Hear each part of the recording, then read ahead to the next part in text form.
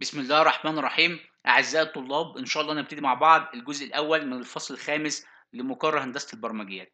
في الجزء ده يا جماعة هنتكلم عن موضوع اسمه system modeling أو نمذجة النظام.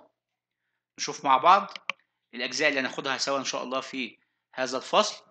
ال context models أو نماذج المواقف أو ال situation ساعات بيسموها ال situation models interaction models النماذج التفاعلية.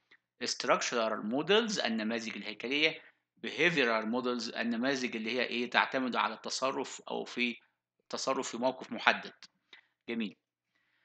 نشوف مع بعض يعني إيه system modeling باختصار يا جماعة كلمة system modeling معناها نموذج للنظام معناها إنك أنت بتعمل برنامج بسيط يعبر عن ال functions الأساسية اللي هيقوم بها النظام. هذا النموذج البسيط أو هذا البرنامج البسيط لا يعبر عن نظام كامل لا. يعني ليس فيه مواصفات النظام كله ولكن بنخرج منه كده نموذج حاجة simple أو حاجة تشبه النظام بحيث نوريها لمين؟ للمستخدم علشان يشوف النظام ده هيشتغل إزاي. طيب هل ممكن أن يعتمد عليها؟ لا ما يعتمدش عليها. ليه؟ لأنها مش كاملة. ده برنامج كده تجريبي كده بسيط خالص بيعبر عن مين؟ ال system أو ال function الأساسية للنظام. ولكن لا يمكن الاعتماد عليه. مجرد بس توضيح النظام ده هيشتغل إزاي بأي طريقة.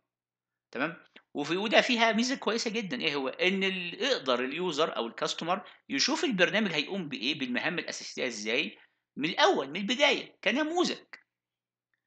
معايا؟ ولكن لا يمكن إن إحنا نديه بقى لل user نقول له اتفضل اشتغل عليه خلاص. لا ما ينفعش. ده مجرد نموذج فقط. فهمنا يعني إيه؟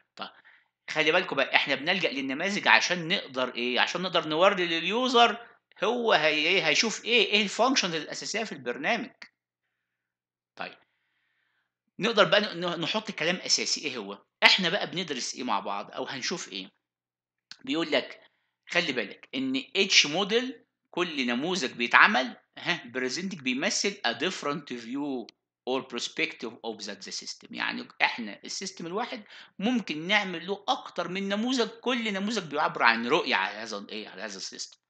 يعني ممكن نعمل على سبيل المثال برنامج صغير يعبر عن function رقم واحد النظام بيقوم بيها.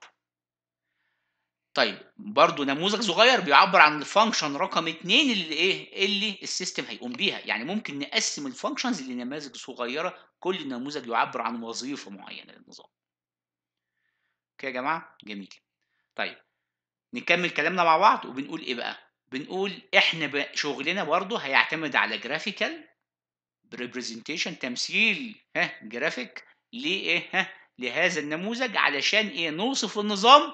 وبلغة بيسموها unified إيه؟ modeling language أو اختصارها UML اذا توقع بقى إن شاء الله وإحنا بندرس هندرس إزاي تعمل نموذج لكن برسومات ب graphics معايا؟ طيب. بيقول إيه بقى؟ بيقول إن ال system modeling بي يعني إيه ميزته؟ إنه بي إيه؟ بيساعد اللي بيحل النظام إنه إيه؟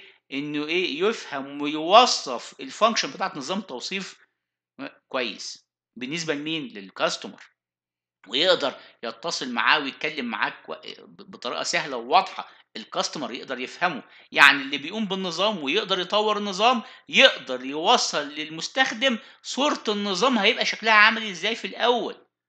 ال customer يبدأ يفهم هو الراجل ده بيعمل إيه.